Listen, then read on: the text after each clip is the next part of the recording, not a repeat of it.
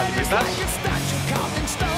Τον άξονα ο Εσαλίβα, δεν θα λύσει παρά μόνο στον Νέτο δεξιά. Η Σέντρα για το χαμί κεφαλιά δοκάρι και το σουτοκόκκινα 0 ο Άρης στο